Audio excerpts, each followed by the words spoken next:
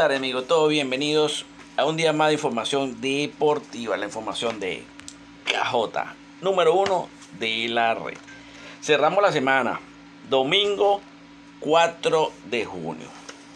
Hoy terminamos esta semana, una semana muy productiva. Por aquí en los regalos, en el fútbol no nos fue tan bien, pero en el béisbol la rompimos. Y en los planes también. En los planes pegamos muy buenos logros. Ayer venimos de pegar un empate que mandó Capulina. Hoy Capulina mandó a jugar todo, todo al City con la alta en 2.5 en la Copa. Y se dio. Y aparte de eso, pegamos un empate que le regalamos a casi todos los afiliados, que era el Eibar de España, empate. También se pegó pagando 3.30. Pegamos la MLB y estamos ligando una jugadita bomba para la noche a ver cómo nos va. Por aquí, ayer le regalamos fútbol, no fue mal en el fútbol. Le regalamos gana Red Bull Racing, que ganó, y el ambos anotan, no se dio. Ganó el Red Bull Racing 2 a 0 y el Stungan, el empate tampoco se nos dio. Estamos ligando para la noche la NHL, donde le regalábamos Las Vegas, y la MLB, donde indicamos Toronto, que ya ganó un poco más temprano, y estamos ligando ahorita Orioles de Baltimore. Vamos a ver cómo nos va hoy, ya que Orioles es la hembra del día. Pero le tenemos fe a ese equipito para hoy. Nosotros en los planes sí pegamos ya los dos empates. Pegamos la jugada de Capulina del City con alta y pegamos la MLB ya. Estamos ligando simplemente una bombita que jugamos para la noche para terminar de cerrar con broche de oro esta semana de lujo en los planes. Unos planes donde las arrancamos junio reventándola. Tres días ganando en los planes. Tres días de junio y los tres días ganando.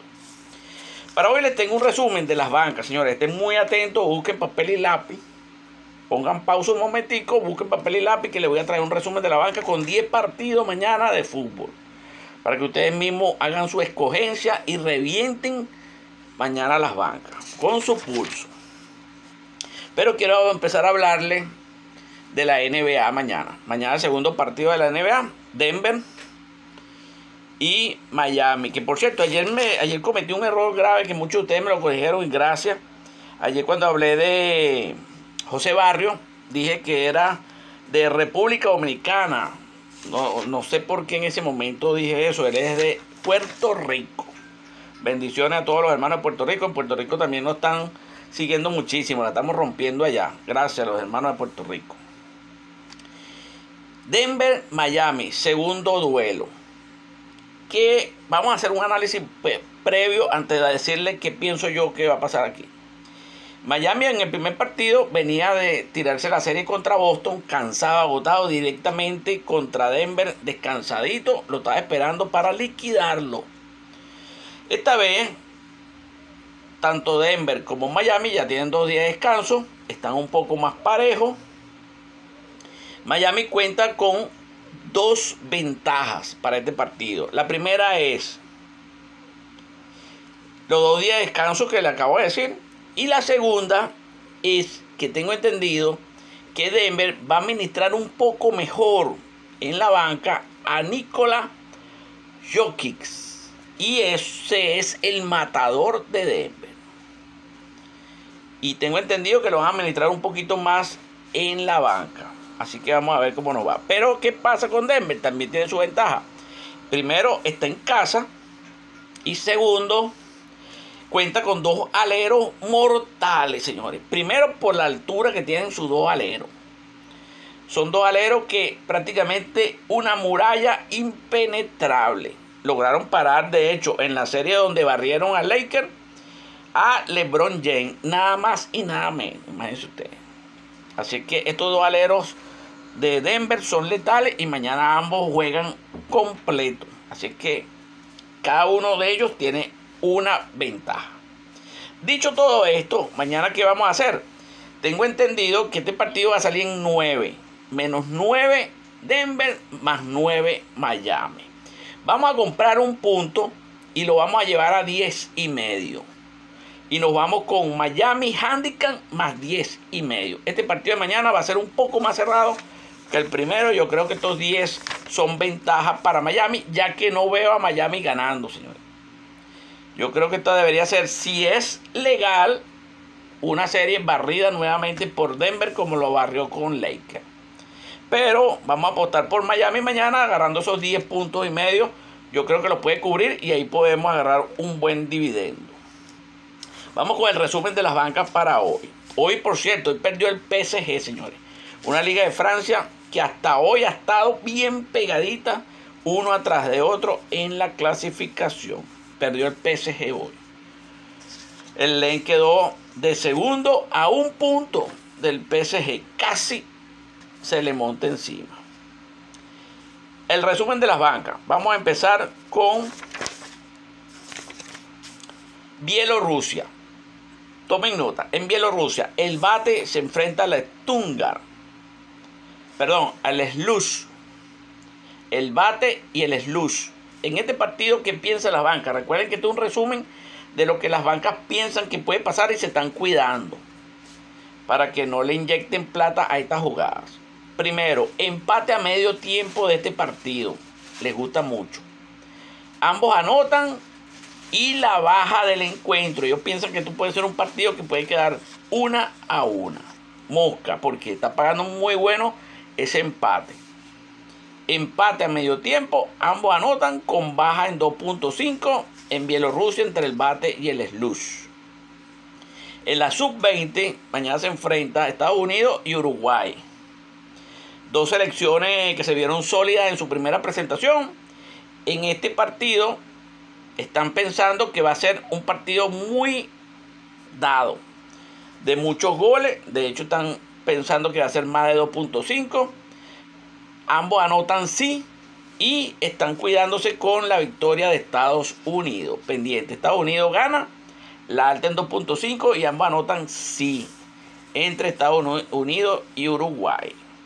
Serie A de Italia, la Roma, el Special eh, la Roma viene de perder, como ustedes saben, la Europa League. Viene dolido. No le queda más nada que la liga. José Mourinho necesita lavarse la cara aquí. Por eso las bancas se están cuidando mucho de la victoria de la Roma mañana, pagando 2.50. Ojo, porque está pagando un dineral. Ellos piensan que va a ser un partido de varios goles. Una alta en 2.5, muy buena cuota. Seguimos en la Serie A de Italia, Milan, Verona. Un Verona donde las bancas se están cuidando a muerte. Un Verona que ellos dicen que necesitan sacarlo de puesto de descenso. Están haciendo lo posible. Van contra un Milan que ya está clasificado. Es un peligro. Ellos no ven mañana al Verona perdiendo. Gana o empata. Para ir más seguro, una doble oportunidad aquí nada descabellada, muy buena cuota está pagando el Verona de Italia.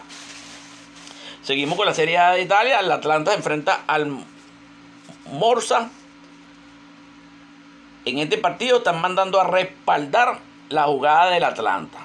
Respaldar la jugada del Atlanta con una alta el partido en 2.5. ¿Qué quieren decir ellos cuando mandan a respaldar una jugada? Bueno, que si entra mucha cantidad de dinero a esta jugada del Atlanta a ganar, ellos la rebotan en otra jugada que ellos piensen que se va a dar también. O simplemente distribuyen esa jugada entre varias bancas para que no los destruyan a ellos solos. Así que pendiente, están mandando a respaldar la jugada del Atlanta, ellos lo ven ya ganador.